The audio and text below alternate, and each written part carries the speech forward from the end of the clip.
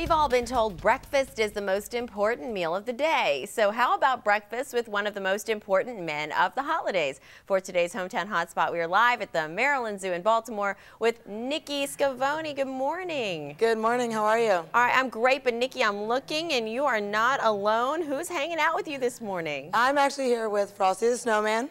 Hi, Frosty. And, uh, Santa Claus over here in our Santa chair. Now, you know, we are talking about one of the most important men of the season. I am guessing that uh, Santa is the one we're talking about here. Absolutely. Yep. We uh, have breakfast with Santa three weekends in December at the Maryland Zoo. And Santa greets our guests, takes a walk around the porch, and takes pictures with families, kids, um, and they can get them in their picture frames or keychains, and they have a lot of fun. That's great. Now, when you say breakfast with Santa, is there actually breakfast at the zoo, place for people to sit